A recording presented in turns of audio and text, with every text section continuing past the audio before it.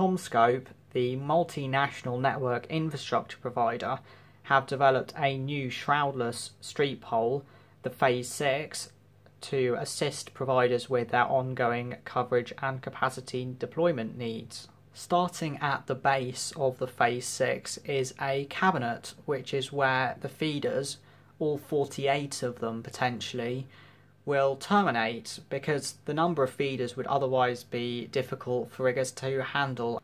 As we now begin to move up the mast, it is important to note that this is currently in an unpainted state, awaiting colouring according to the mobile network operator's requirements for visual amenity in the location the mast will be installed. Now for the fun bit, the antennas. This street pole has six specially designed 8-port RZVV65B-R4 antennas, each with two low-band ports that operate between 694 and 960 MHz, four ultra-wideband ports that operate between 1695 and 2690 MHz, and then two ultra wideband ports that go all the way down to support the supplementary downlink band, so 1427 to 2690 MHz. This obviously provides a huge possibility of deployment options to mobile network operators, especially in terms of sharing the mast between them. Naturally, I decided to plan out some schematics and layouts for very high capacity configurations that the UK's mobile network operators could deploy, taking advantage of the capabilities of the Phase 6 street pole. I will start off by talking about my Vodafone and O2 schematic, which features 4T4R for both the mobile network operators, as well as 1400 MHz support for Vodafone. I have placed Vodafone using the top stack of antennas and they have their usual 800 and 900 MHz which is diplexed into the low band ports.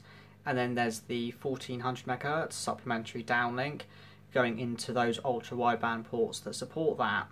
And then the remaining four high ultra wideband ports are used to support 4T4R 2100 MHz and 4T4R 2600 MHz this could be adapted to support 1800 MHz for Vodafone as well if one of the paired diplexers is swapped out for a triplexer.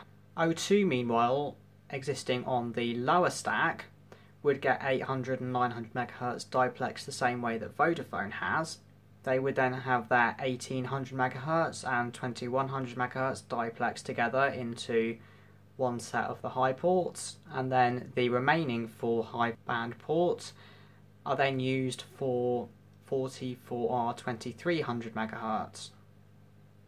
Through this scheme, the operators are existing in a passive share configuration only, which is what regions like London are moving to at the moment, where there is no active network equipment sharing, which then provides greater flexibility for the two mobile network operators out of comparison purposes, this is what a conventional Vodafone and O2 street pole mast would look like that has been installed over the past few years.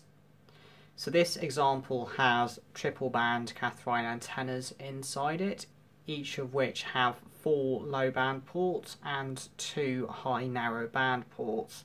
And from this, the typical maximum configuration looks something like this. So there's 800 megahertz and 900 megahertz are going separately because of the four low band ports, but they are operating as multi-operator radio access networks. So Vodafone and O2 coming out of the same radio modules. And then 1800 and 2100 megahertz are diplexed into the high band port, once again operating as a multi-operator radio access network. So the phase 6 with its 48 feeders and two quad band antennas on each sector is a very significant jump on existing street pole solutions. I have also drawn a high capacity layout for EE and 3 existing in a passive share configuration. So in this schematic, EE is operating in the top stack of the mast and they have their 800 MHz in 2x2 and then 1800 megahertz, 2100 megahertz and 2600 megahertz all operating in 4T4R with the help of dual band remote radio units and 18 to 21 slash 26 diplexers. Three, I have put all our bands operating in 2T2R, but with some diplexers they could also operate their 1800 and 2100 megahertz in 4T4R if they so desired, and they have their 1400 megahertz supplementary downlink deployed on the mast to take advantage of those ports that go all the way down to those frequencies once again. Massive thanks to CommScope for letting me come and see the Phase 6 street pole in person.